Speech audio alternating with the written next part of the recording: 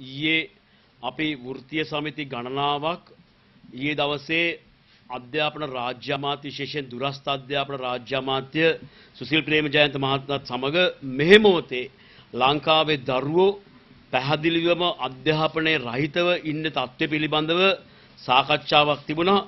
ඒ සාකච්ඡාවේදී ගත්ත තීන්දුව තීරණ සම්බන්ධයෙන් පැහැදිලි කිරීම තමයි අපි අද මේ මාධ්‍ය සාකච්ඡාවේ අරමුණ.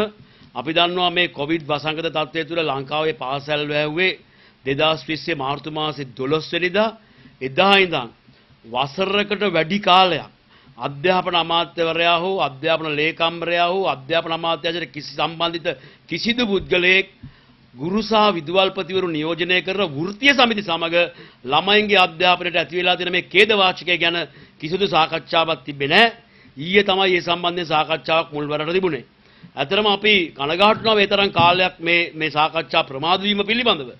මොකද අපි දන්නවා දැන් මේ වෙනකොට ලංකාවේ දරුවෝ 43 ලක්ෂයක් දරුවන්ගෙන් 160ක් කිසිදු අධ්‍යාපන පාසුකමක් නැතුව ගෙදරට වෙලා කිසිම අධ්‍යාපනයක් නැතුව ඉන්නවා. මේක බරපතල කනගාටුදායක තත්ත්වයක්. එතකොට දැන් අධ්‍යාපන අමාත්‍යාංශය දැන් මේ වෙනකොට කොරෝනා තත්ත්වය තුළ පාසල් වහලා තිබ්බම මේකට එකම විසඳුමකට වුන් සඳහන් කරන්නේ ඔන්ලයින් අධ්‍යාපනය. දැන් මේ ඔන්ලයින් අධ්‍යාපනය කියලා ඒක කරාට ඒක 100ට 30 ගාණක්වත් අඩු ගාණ මේ ඔන්ලයින් අධ්‍යාපනයට සම්බන්ධ වෙලා නැහැ.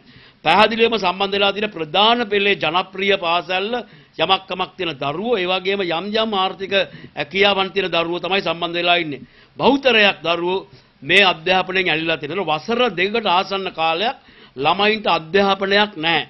ඉතින් අපි ගත්තොත් පළමු වසර ළමයෙක් ගත්තොත් ඒ ළමයාට වසර 3ක් දැන් වසර දෙකක් 2021 අවුරුද්ද 2020 අවුරුද්ද අධ්‍යාපනයේ නැහැ. ඒ වගේම අපි ගත්තොත් ළමයින්ට ගිය අවුරුද්දේ මාස 6ක්වත් අධ්‍යාපනය තිබුණේ නැහැ. සාමාන්‍ය දවස් 30ක් විතර තිබුණේ බෙදලා ගත්තම ඉස්කෝල වලට මේ අවුරුද්දේ බස්නාහිර පළාතේ ළමයින්ටත් එවැනි තත්ත්වයක් තමයි තියෙන්නේ.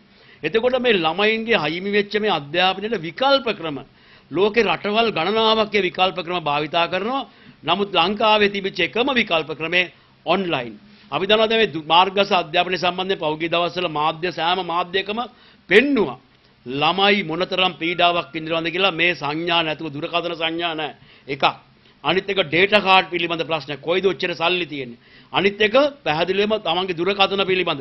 අදත් අපිට වෛද්‍යවරයෙක් කතා කළා මේ ප්‍රශ්න සම්බන්ධයෙන්. මොකද ළමයින්ගේ ඇස් සම්බන්ධයෙන් බරපතල ප්‍රශ්නයක් මේකේ තියෙනවා. ඒ වගේ මානසික ළමයාට තියෙන අවුල මේ සම්බන්ධයෙන්. පොඩි තීරයක් මත මේ මේ මේ බැලීම තුල දැන් ඔන්ලයින් එක පැත්තක නැති කිසිම අවවරණක් නැති ළමයි සම්බන්ධයෙන් මොකක්ද ගන්න තීන්දුව? කිසිදු ඔන්ලයින් පාසුකමක් නැති ළමයි සම්බන්ධයෙන් මොකක්ද ගන්න තීන්දුව?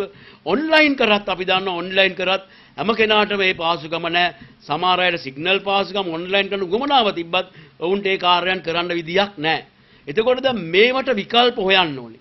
නමුත් අපි දන්නවා අධ්‍යාපන අමාත්‍යාංශයේ වසරක් තිස්සේ ඒ කිසිදු ක්‍රියාමාර්ගයක් ගත්තේ නැහැ. අද මාධ්‍යවල මේ කාරණා පෙන්නකොට මේවා නරඹනවා විතරයි. මට විකල්ප ක්‍රම හොයන්නේ නැහැ. ළමයි මෙච්චර පීඩා විඳීම ගැන වුන් බලන්නේ නැහැ. එතකොට එක පැත්තෙන් අපි දන්නවා දැන් ඔන්ලයින් කරන ළමයි අතරත් අපි දන්නවා පැහැදිලිවම තියෙන බලපෑම. මොකද්ද? ඒ පැත්ත එක පැත්තෙන් ගුරුවරුන්ට බලපෑම් කරනවා ඔන්ලයින් කරන්න කියලා. ඔන්ලයින් කරන ළමයින්ට ඒක උදේ ඉඳන් රෑ වෙනකම් පාසල් සමහර පාසල් උදේ 6ට පටන් ගන්න. ඉතින් රෑ වෙනකම් කොහොමද මේක කරන්නේ ළමයි? දැන් එකම දුරකථනයේ තියෙන ගෙවල් වල කොහොමද ළමයි තුන් දෙනෙක්ට ඔන්ලයින් කරන්නේ? දැන් මේවා ගැන හිතලා මේවට විකල්ප ක්‍රම හොයන්න ඕනේ. ඒවා කිසි දෙයක් අධ්‍යාපන අමාත්‍යාංශය කරලා නැහැ. මේ බරපතල පීඩාවක් තියෙන. අනිත් පැත්තෙන් ගුරුවරුන්ට. ගුරුවරුන්ට ඇති කරන පීඩාව තමයි මේවා කරේ නැත්නම් ඊ වැටු වර්ධක දෙන්නේ නැහැ. හැබැයි මේ ඔන්ලයින් කරන්න තඹ සතයක් අධ්‍යාපන අමාත්‍යාංශය වියදම් කරලා නැහැ. මේ ඔක්කොම කරන්නේ ගුරුවරුන්ගේ සල්ලි වලින්.